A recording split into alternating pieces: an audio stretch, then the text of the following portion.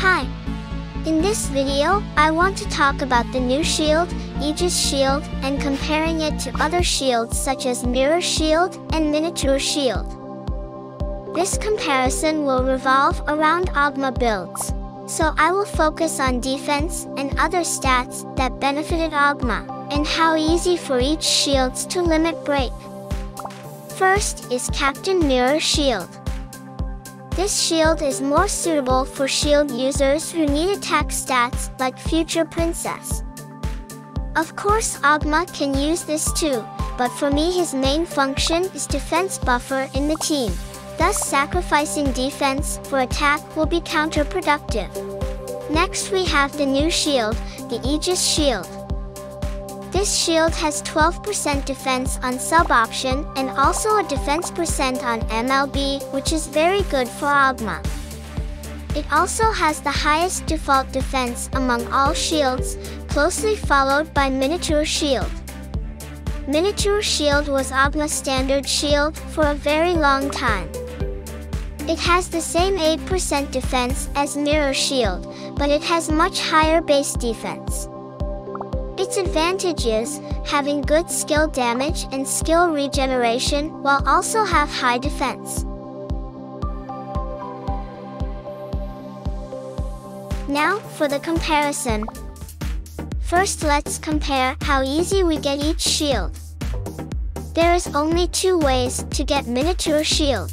We can either get it randomly from item drops and Mystery Evolution, or we trade it with Battle Medal. Battle Medal is not easy to get, especially if you are on the lower arena rank. I personally like to spend my medal on option lock stones. For Mirror Shield, you can get it from Mirror Shard Shop or randomly gained from item drops and mystery evolutions. The problem being, 3000 shards are quite a lot. And it will take a long time to gather enough shard just to buy a shield. The Aegis shield on the other hand are bought using bottle cap from Kamazone. Yes, it can be quite some time to gather 80,000 bottle caps, but we have accumulated bottle caps for a long time. So by now, there should be enough bottle caps on your inventory. Aegis shield from the bottle cap shop are not limited.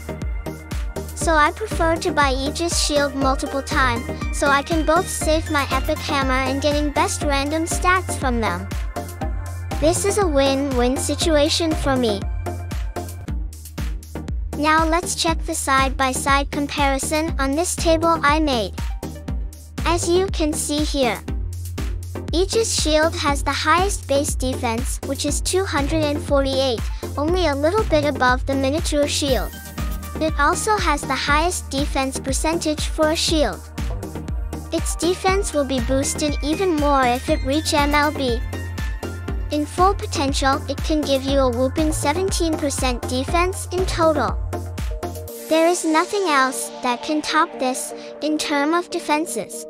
So defense-wise, I would prefer this one the best. Minotaur Shield on the other hand has much lower defense, but it has other type of advantage.